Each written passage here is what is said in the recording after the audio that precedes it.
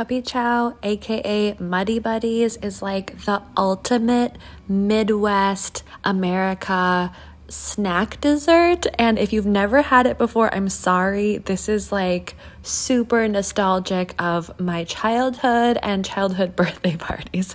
It's amazing. So let's make macaron versions. So I'm starting off with a French method macaron shell. I wanted a pretty like deep, um, brown color. So I'm going to use both brown and black shell food coloring. I have some Chex Mix that I'm going to pulverize and smash with my fingers. You could do this in a plastic bag. You can do this in a food processor if you want it super fine and powdery. I like having the texture. That is up to you.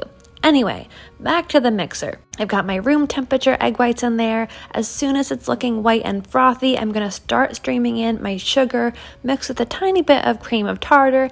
That's just going to help the meringue get really nice and help with its structure. And as soon as I get all of the sugar streamed in here, and I'm going on kind of a medium low speed here, you don't want to go too fast also don't want to go too slow. Um, as soon as I get all of that incorporated, when I'm getting to about a soft peak or maybe a medium soft peak, it's about 70% of the way done, is when I really like to add in my food coloring. So I'm going to add in some brown gel food coloring and a tiny bit of black gel food coloring um, because if you don't know about Muddy Buddies or um, Puppy Chow, it is Chex Mix covered in in peanut butter and ch- dark chocolate and then tossed with powdered sugar. It's amazing. It's phenomenal, actually. Highly addictive. And so I wanted a really deep brown because I wanted to truly be like a chocolate peanut butter kind of color. Um, so that's what I'm going for here. I've got my dry ingredients, the almond flour and powdered sugar, and I'm just going to add that in in about three ish additions. I really like to add in my dry ingredients that way um, just to make sure that I am not over mixing um, Um, or mixing for too long. And I think that that the three additions really helps me control the speed and to make sure I don't have any pockets of dry ingredients or anything like that. Some people really like to do this in their mixer. Um, if you are comfortable with that, go for it. Um, if you do it in the mixer, I might recommend um, still not adding in everything at once, or I would also recommend switching over to your paddle attachment instead of the whisk attachment. But yeah, it, it can be a little scary and takes a little playing around with. Personally, with a small batch, I just like to do it by hand. I like the way it feels. I can tell immediately with my spatula when things are ready, when things are mixed in. As soon as I have everything together, I'm going to be folding it more purposefully and kind of scraping around the sides of my bowls, folding it onto itself, looking for the ribbon stage when the batter will flow off like a ribbon from my spatula. So, as soon as I get this done, um, I want to talk about how this is going to become like puppy chow. So, puppy chow, which got its name because it looks like dog food, it is not a particularly attractive dessert, especially if you don't know what it is. But um, because it is Chex cereal covered with chocolate and peanut butter and then covered after that in powdered sugar, um, it has this really like rough, bumpy, powdery color to it with definite like dark undertones. So, as soon as I get my macaron batter to the right consistency, I'm going to transfer it to my piping bag with my piping tip. I usually use anywhere from an 803 to an 806. Um, but again, whatever works for you, works for you. And I'm going to pipe regular old circles. And as soon as I tap my trays, I'll sprinkle on the Chex cereal. And as those are drying, then I'm going to get into my puppy chow ganache.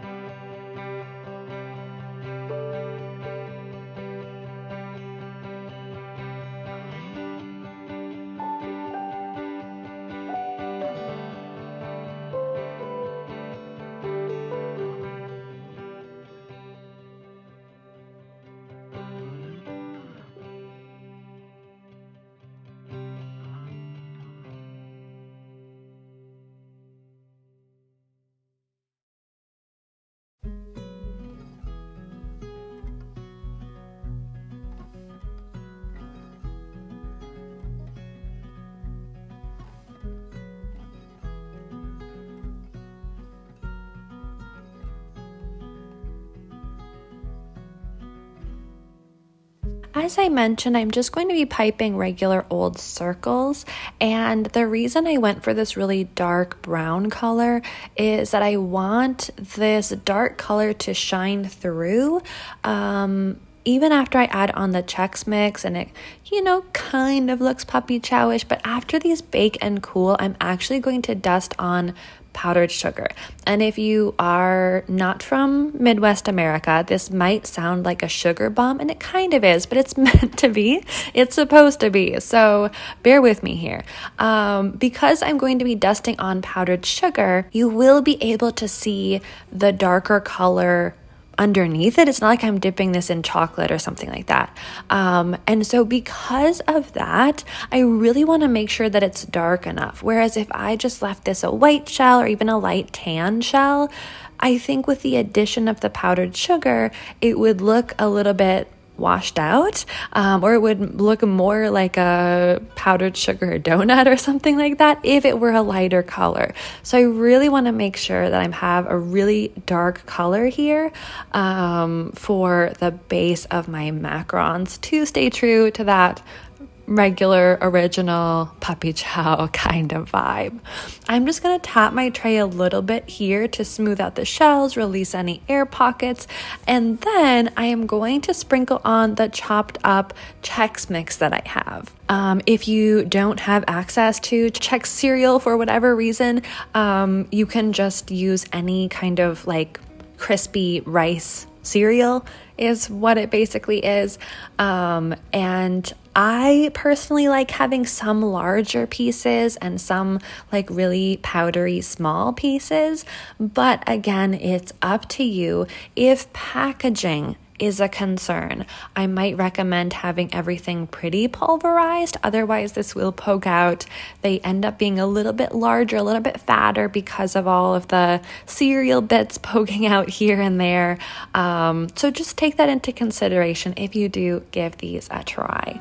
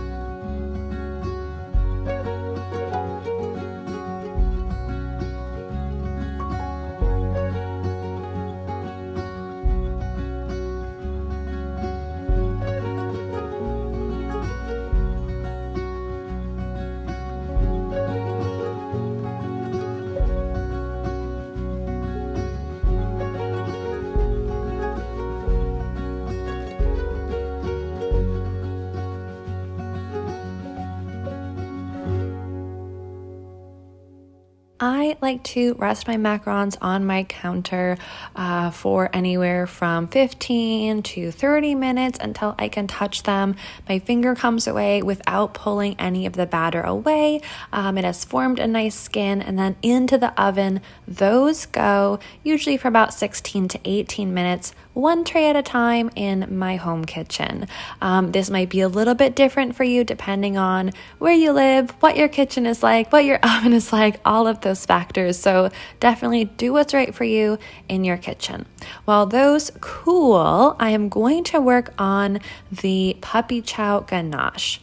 As I mentioned, even if you're not familiar with puppy chow, a main feature of that is having your chocolate coating that's mixed with peanut butter. So I'm starting off with a pretty standard chocolate ganache. I have 50 50 um, dark chocolate and milk chocolate here. And then I also have a little bit of salt that I'll be adding in and a little bit of honey, or you could use trimoline if you have that. I also have butter and peanut peanut butter, but I will be adding that after um, everything else is emulsified and combined. So once I get this into my bowl, I'm gonna heat my cream up. If you're making a small batch, just use your microwave. Otherwise, you might wanna put this onto your stove, get it to a scald, and then pour it over all of the chocolate, honey, and salt. After that is all mixed together and combined is when I'm going to add in the butter and the peanut butter. Um, I like to start off by using a whisk just to make sure that I don't have any clumps. And then I absolutely recommend using an immersion blender. If you don't have one of these, um, 100% recommend you get one, invest in one for your kitchen. Um, there are some that are very expensive, it's true, but there are also some pretty affordable versions. Um, it definitely depends on how many speeds there are. so, absolutely recommend getting that for the smoothest, silkiest ganaches in your kitchen. After that, I'm just transferring it to a sheet pan so that can cool. And while that is cooling, I'm going to work on the powdered sugar coating for my macarons. I have powdered sugar here in a bowl. I have a nice fluffy pastry brush um, and my cooled and matched macaron shells. I'm just going to one at a time use that pastry brush to brush and dust on powdered sugar over every bit of those shells.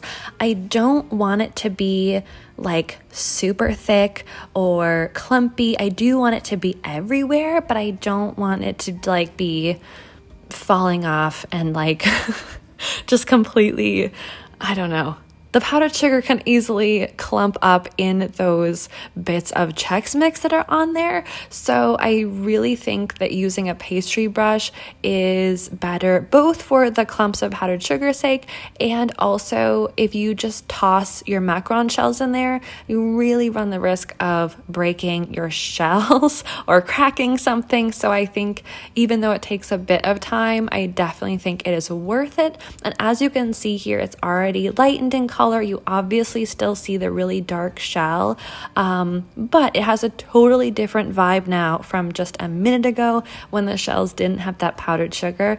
And honestly, it is looking so much more like puppy chow right now. It looks amazing. Now that my ganache has cooled completely to room temperature, I'm just going to pipe that in um, because of the addition of peanut butter. This is a relatively thick ganache, so I would say before using this, I do not recommend putting it into your refrigerator unless it is a very brief, if it is an emergency and you need to use it right away, um, because it is quite thick um, and will pipe on really nice and thick and glossy like as soon as it hits room temperature is amazing. I really hope you give this a try. Also, if you've never tried the original version of Puppy Chow or Muddy Buddies, as some people call them, um, you should also definitely try that, but make a small batch because it is addictive and not healthy at all. okay, thank you so much for coming along on this macaron adventure with me. If you give this a try, definitely tag me on Instagram so I can see your end result. You can find me at Maddie Brehm. All right, until next time, have a wonderful day. Bye.